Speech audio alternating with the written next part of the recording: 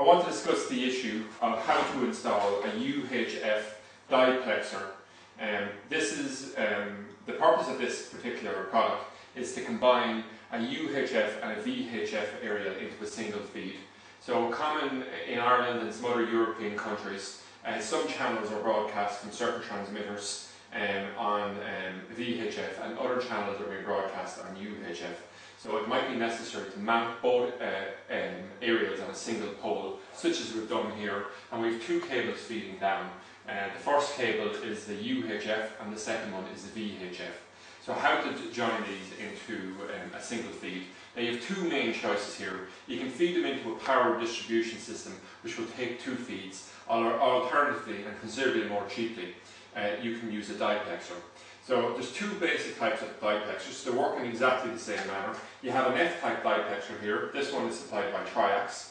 and it has a VHF input, a UHF input, and an output then coming um, back out, which will feed the, a, a, distribution system or a number of uh, televisions via a splitter. Uh, alternatively, you have exactly the same type of product, but this time using a saddle and clamp mechanism. These are normally cheaper but, uh, and not quite as handy to install yet um, they can be just as efficient um, and effective. Um, so there's a VHF, a UHF, and, and, a common output. So two feeds in and one feed out.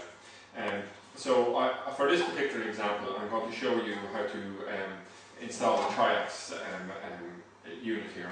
So what we will do is, in terms of tools, for this one we will simply need a snips. If we were doing the saddling clamp, we would need a snips and a flathead uh, screwdriver like this one here. Um, so um, I've already, on the first cable here, put on an F-type connector, and on the second one, I've pared down the end of the cable, and I use my snips to leave about 7 to 8, 6 to 7 millimeters of white foam. And the purpose of leaving this gap is to ensure that the cable, um, the earth cable um, which is wrapped around the thing, doesn't touch the center cable, which is uh, in the center here. So what I do now is I have an F-type connector. I screw this F connector onto the end of the cable.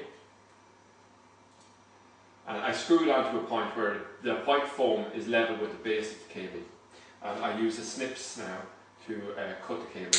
Now we cut these cables to this length because we wanted to leave it in a position where the, the diplexer can be mounted on the pole uh, not interfere with either aerials and not interfere with the bracket that um, is um, holding the pole in position off a chimney or a wall bracket. So this type of cable is ideal. What, what we'll do is we'll feed the cable down and loop it back up. So in this particular case here, uh, what I'll do is I'll just simply open up this um, um I'll open this um, uh, unit here. Now I check this cable here, it's coming from the UHF aerial and I'll feed it into the UHF side of the power unit here, or of the diplexer here. So I just stand up for this particular part of it. Um,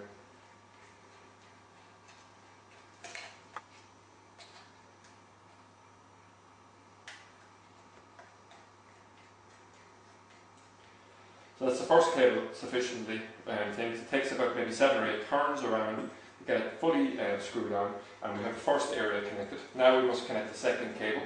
Um, it's exactly the same process here. Uh, we screw it on repeatedly. This will feed in the UHF um, area into um, the system.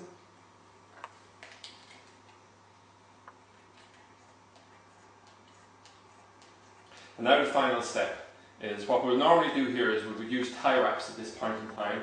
And tie wrap the cables tightly onto the um, the pole and we would also use um, use a cable here, an output cable.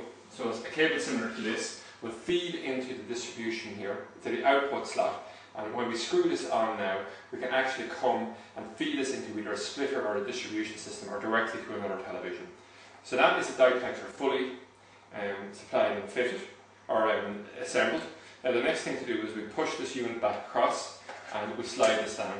The most important thing with these diplexers, um, apart from ensuring that the wiring is correctly done, is to ensure that the diplexer is not held upside down. If it's mounted this way, water will follow the cables and flood the diplexer, and within a matter of days um, or weeks, uh, the diplexer would stop working um, because it will be waterlogged. So what we would do now is we would hold this diplexer like this, and then we would apply a series of tie wraps. One tie wrap around the back of the aerial here, and this one here, this you can see here, there's a tie wrap on this particular one.